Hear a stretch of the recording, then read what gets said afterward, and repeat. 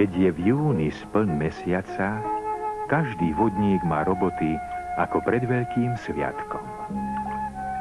Akože by nie, veď sa nechystá na obyčajný jarmok alebo výstavu, ale na veľký sviatok lekien. Vzduch je správne teplý. Vietor ako Vánok, na oblohe ani mráčik. Tak sa do toho pustíme.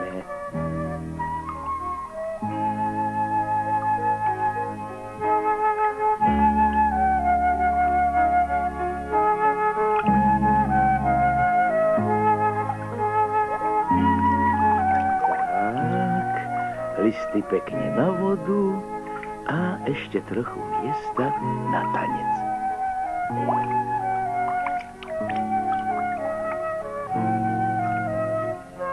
Pozrime sa. Mesiačik. Ani som nezbadal, kedy vyšiel. Pri práci čas uteká ako voda. Mesiačik, prosím ťa, schovaj sa za vrbu, aby si mi nezobudil sadeničky.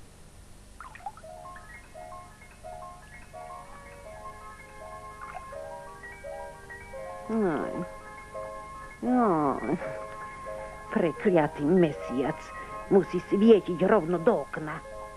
Človek ani spať nemôže.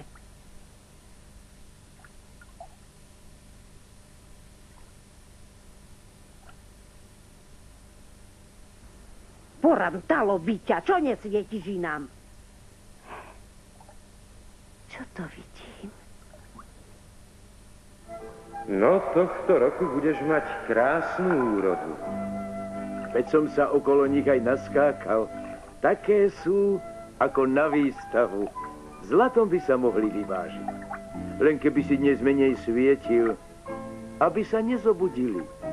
Ale hej, včera som mal ťažkú službu. Večernici sa stratila zvorna čiapka a celú noc sme ju hľadali. A našli ste ju? Našli. Tie šantivé hviezdy si z nej urobili hojdačku. A ja hnem si za borový vrštek a trochu si zdriemnem. Dobrú noc. Aj tebe. Mám toho tiež na dnes dosť. Veď ráno musím byť na nohách už pred svitaním.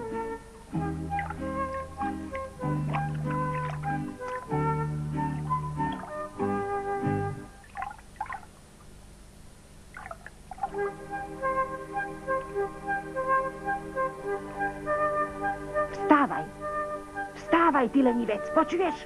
Vstávaj. Pôjdeš hneď k rybníku a natrháš lekná.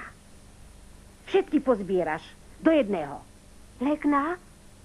Na čo lekná? Rob, čo ti kážem. Darmo ťa tu živiť nebudem. A merkuj, aby ťa nezočil vodník, lebo ťa utopí a ja budem mať kvôli tebe nepríjemnosti. Paľko, synáčik, vstávaj. Pôjdeme do mesta. Bo ešte čo? Jak ide Fero?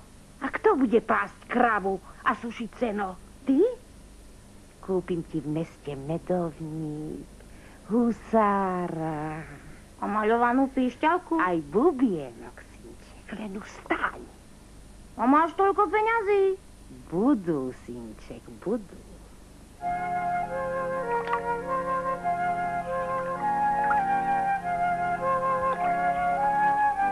Aké sú utešené. Nikdy tu nerástlo lekno, aj ja ho mám zničiť. Hm. Keď to neurobím, gazdina ma vyženie.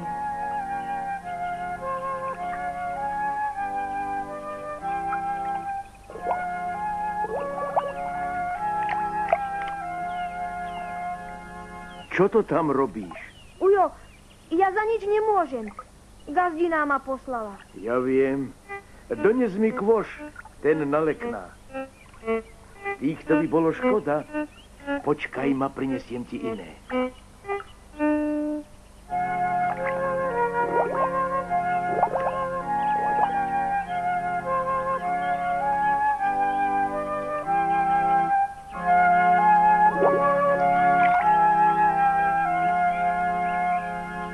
Ako sa ti páčia? Sú pekné. Ďakujem vám, Ujo. Ďakujem. A nehnevajte sa. Čo sa mám hnevať na teba? A gazdinej povedz, že nech sa jej v meste dobre darí. Poviem, Ujo. Keď sa vráti z mesta, príď za mnou. Vyrozprávaš mi, koľko v meste utržila. Príde môj vodník. Dovidenia.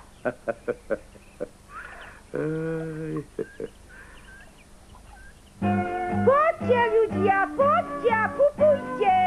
Jeden kvet pre mládenca, dva pre dievča a pre nevestu celá kytica. Poďte a kupujte za groš, za grošíček. Kričaj ty, medovník si zješ potom. Verte sami. Príď sama. Poďte, ľudia, poďte a kupujte. Jeden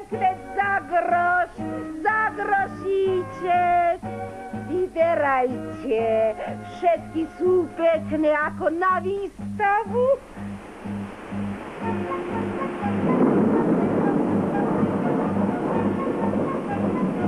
Čo si nám to predala, ty podvodníčka? Aj, vráť mi moje peniaze. Ľudkovia, zavolajte policiu. Do temnice sa. Jaj, nie. Do temnice nie. Chcem stať moje peniaze, zober si svoje žaby. Ľudkovia, dobrý, ja za nič nemôžem. Zľutujte sa, vrátim vám vaše peniaze.